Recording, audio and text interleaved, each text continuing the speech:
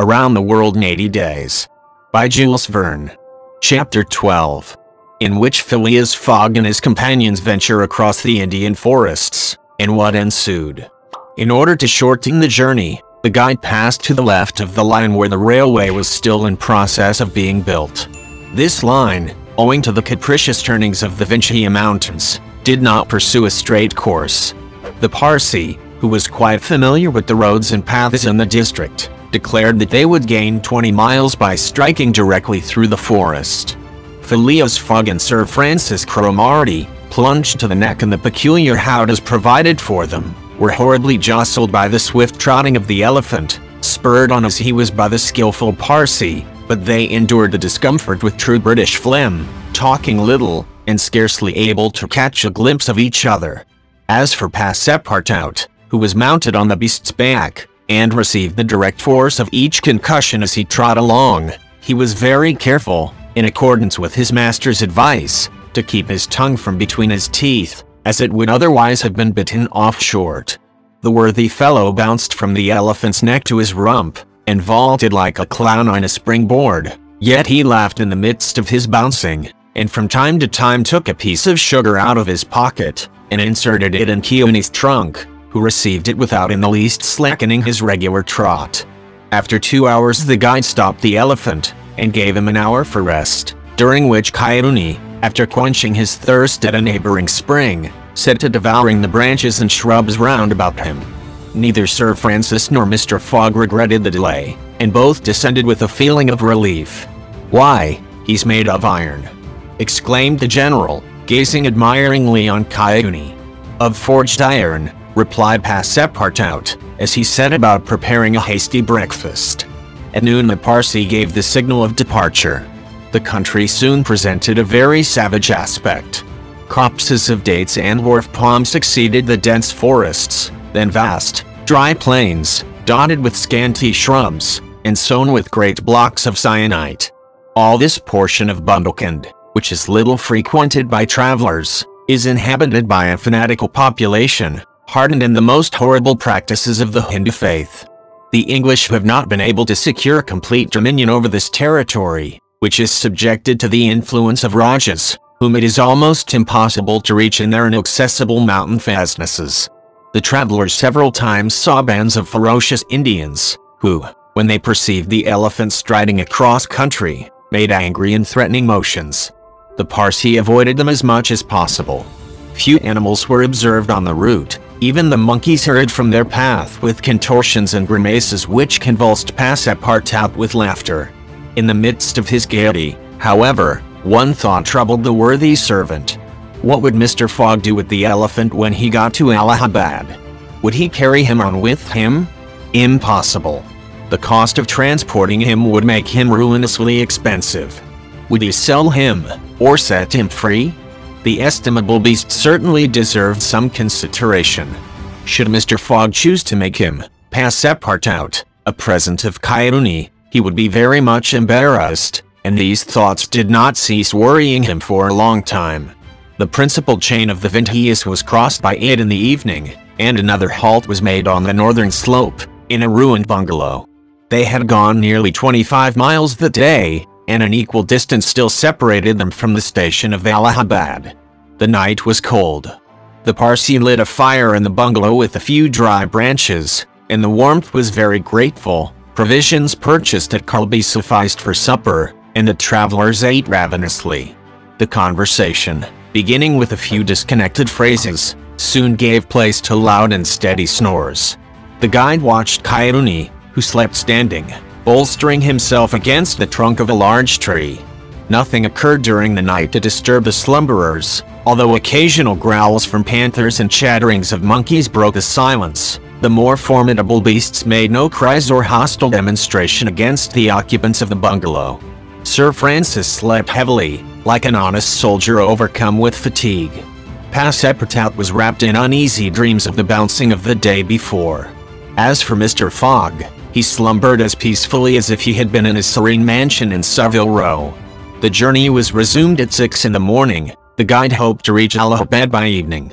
In that case, Mr. Fogg would only lose a part of the 48 hours saved since the beginning of the tour. Kiouni, resuming his rapid gait, soon descended the lower spurs of the Vindhyas, and towards noon they passed by the village of Kalinger, on the Kani, one of the branches of the Ganges. The guide avoided inhabited places, thinking it safer to keep the open country, which lies along the first depressions of the basin of the Great River. Allahabad was now only 12 miles to the northeast. They stopped under a clumps of bananas, the fruit of which, as healthy as bread and as succulent as cream, was amply partaken of and appreciated. At 2 o'clock the guide entered a thick forest which extended several miles. He preferred to travel under cover of the woods. They had not as yet had any unpleasant encounters, and the journey seemed on the point of being successfully accomplished, when the elephant, becoming restless, suddenly stopped. It was then four o'clock. What's the matter? asked Sir Francis, putting out his head. I don't know, officer, replied the Parsee, listening attentively to a confused murmur which came through the thick branches. The murmur soon became more distinct. It now seemed like a distant concert of human voices accompanied by brass instruments. Passepartout was all eyes and ears. Mr. Fogg patiently waited without a word. The Parsee jumped to the ground, fastened the elephant to a tree, and plunged into the thicket. He soon returned, saying, A procession of Brahmins is coming this way. We must prevent their seeing us, if possible. The guide unloosed the elephant and led him into a thicket, at the same time asking the travelers not to stir. He held himself ready to bestride the animal at a moment's notice, should flight become necessary, but he evidently thought that a procession of the faithful would pass without perceiving them amid the thick foliage, in which they were wholly concealed. The discordant tones of the voices and instruments drew nearer, and now droning songs mingled with the sound of the tambourines and cymbals. The head of the procession soon appeared beneath the trees, a hundred paces away, and the strange figures who performed the religious ceremony were easily distinguished through the branches. First came the priests, with mitres on their heads, and clothed in long lace robes. They were surrounded by men, women, and children, who sang a kind of lugubrious psalm, interrupted at regular intervals by the tambourines and cymbals, while behind them was drawn a car with large wheels, the spokes of which represented serpents entwined with each other. Upon the car, which was drawn by four richly caparisoned zebus, stood a hideous statue with four arms, the body colored a dull red, with haggard eyes, disheveled hair, protruding tongue, and lips tinted with betel. It stood upright upon the figure of a prostrate and headless giant. Sir Francis, recognizing the statue, whispered, The goddess Kali, the goddess of love and death. Of death, perhaps, muttered back Passepartout, but of love, that ugly old hag? Never. The Parsee made a motion to keep silence. A group of old fakirs were capering and making a wild ado round the statue. These were striped with ochre, and covered with cuts whence their blood issued drop by drop. Stupid fanatics, who, in the great Indian ceremonies, still throw themselves under the wheels of Juggernaut. Some Brahmins, clad in all the sumptuousness of Oriental apparel, and leading a woman who faltered at every step, followed.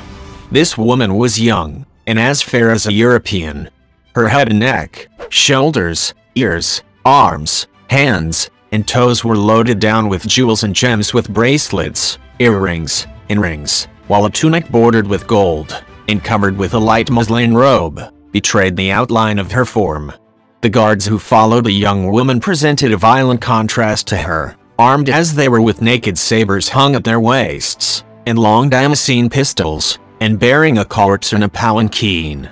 It was the body of an old man, gorgeously arrayed in the habiliments of a Raja, wearing, as in life, a turban embroidered with pearls, a robe of tissue of silk and gold, a scarf of cashmere sewed with diamonds, and the magnificent weapons of a Hindu prince.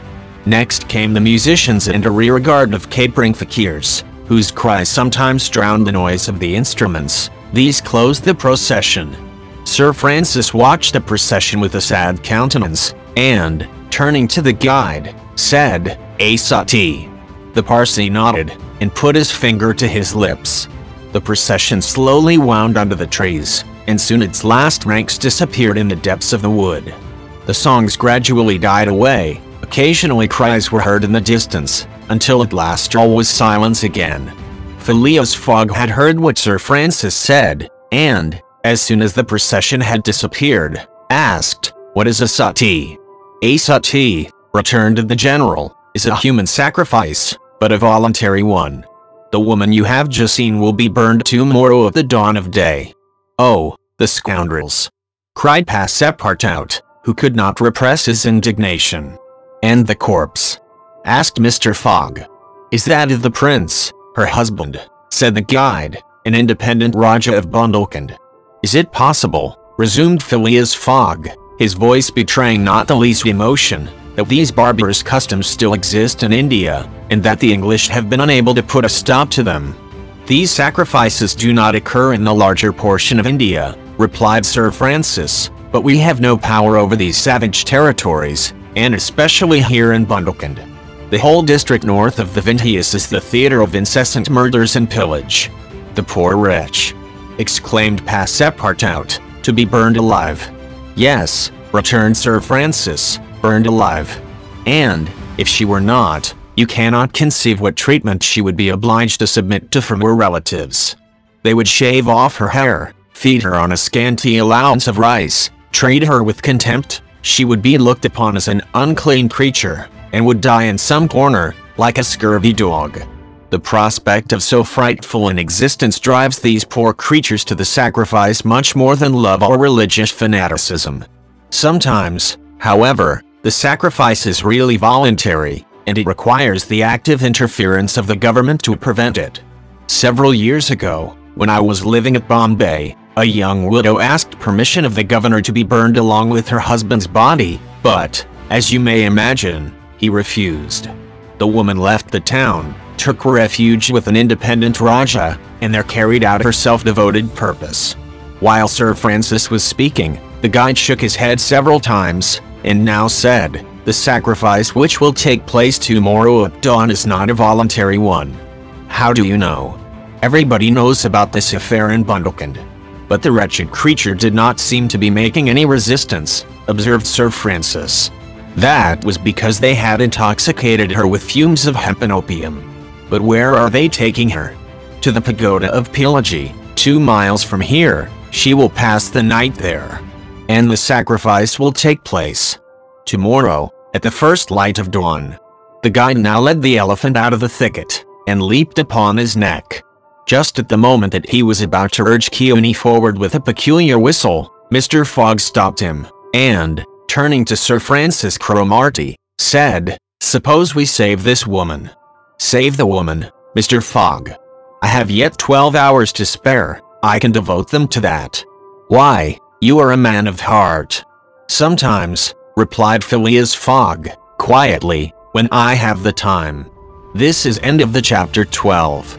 If you like this story, please like, share and subscribe. Thank you.